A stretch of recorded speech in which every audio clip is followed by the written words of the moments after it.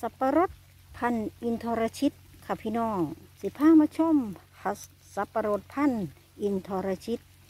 เขาก็จะมีลักษณะลำต้นใหญ่ ผลใหญ่ เวลาสุกก็จะมีสีทอง สีเหลืองทองค่ะพี่น้องแต่รสหวานบ่แห้ง หวานแบบพอดีพอดีค่ะพี่น้อง เวลาเขาโตเต็มที่ก็สิลูกใหญ่ ลำต้นก็สิใหญ่พอเสียของสับปะรดพันธุ์นี้ค่ะพี่น้อง เขาก็จะมีเส้นใยหลาย เวลาเขากินก็สิเป็นแบบเซนเซนเซนเซนนั่นเนี่ยคือขอเสียของเขา แต่ว่ารสชาติก็ถือว่าใช่ได้ค่ะพี่น้อง ได้มะปลูกอยู่สามสี่หากอ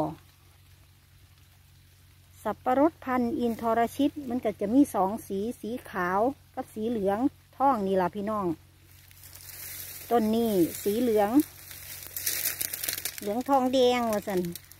สับปะรด พันธุ์ทรชิตโอ้พันธุอินทรชิต เนี่ยเขาก็จะมีสองสีสีขาวกับสีแดงเนี่ย ต้นนี้สีแดงลำกอต้นเขาก็จะออกสีแดงๆนี่ค่ะ ทุกคน ลูกผลใหญ่ข้อเสียของเขาก็คือ เส้นใยก็จะเยอะ เวลากินก็ลำบากเพราะว่า เราต้องตัดเป็นชิ้นเล็ก ๆ เพราะว่ามันมีกากเส้นใยเยอะ นี่คือข้อเสียของสับปะรดพันธุ์นี้ ก็จะมีหลากหลายสายพันธุ์เนาะสิบแปดสิบเก้าสายพันธุ์นู่นสำหรับสับปะรด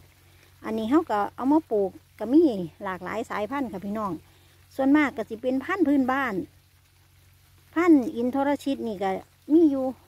หนึ่งสองสามสี่ห้าหกเจ็ด เจ็ดแปดเก้ากอนี่แหละค่ะพี่น้องปลูกไว้พ่อได้กินบ่ได้ปลูกขาย อันนี้ก็คือพันธุ์พื้นบ้านค่ะทุกคนเนี่ย รสชาติเขาก็จะเปรี้ยวนำมีหวานนิดนิดปลาแรมปลาแรมเพราะว่าของเขาเป็นพันธุ์พื้นเมือง แต่ว่าเวลาขายพันธุ์นี้ก็จะได้ราคาดี แต่ว่าเราปลูกไว้กินเฉยๆค่ะทุกคน สับปะรดพันธุ์อินทรชิต